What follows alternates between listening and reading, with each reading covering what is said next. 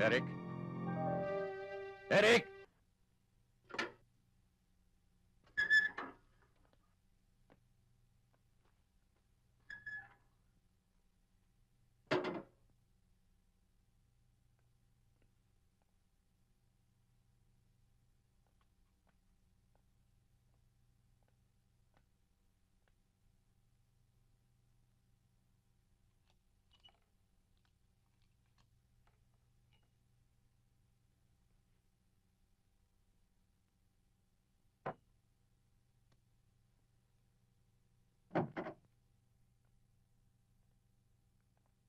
Kanina ka pa ba, pare?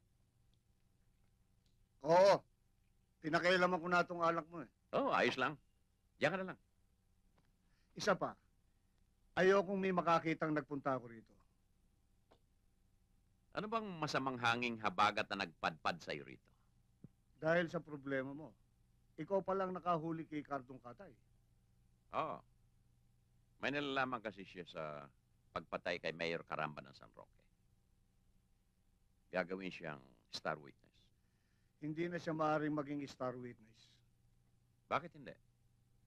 Patay na si Cardong Katay. Paano nangyari yon?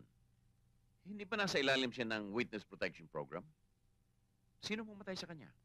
Narinig mo na ba ang grupo ng mga enforcers? Hindi. Yon ang mga professional assassin na binabayaran ng matataas na tao.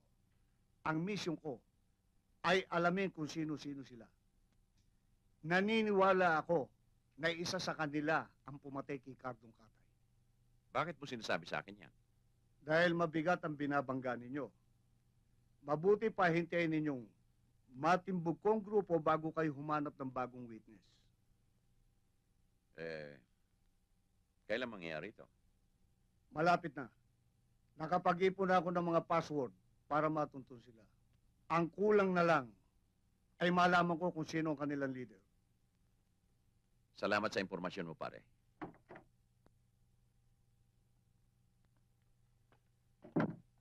O pare, pag libre ka, pasyal ka uli. Areglado, pare. Tapos mo ako sa inaanak ko. Makakarating, pare. Sige, Lakad na ako. o ingat.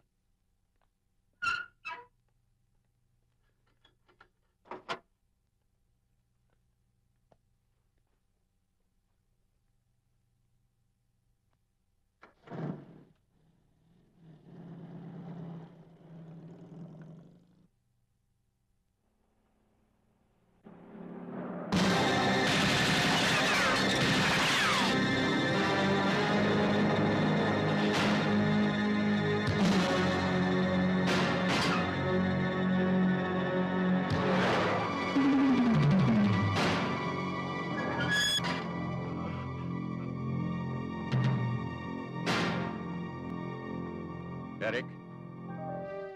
Eric!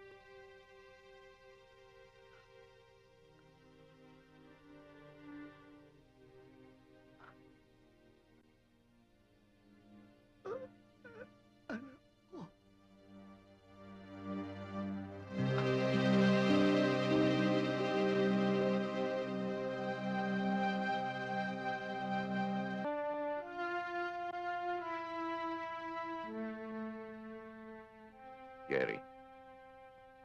Tayo na. Mauna na kayo, no? Dito na muna ako.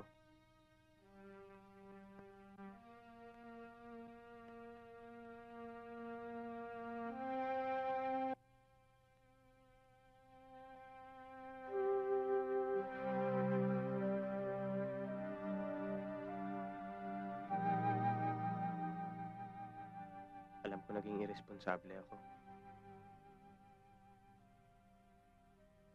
Pero kailangan pang mawala kayo para malaman ko yung mga pagkukulang ko.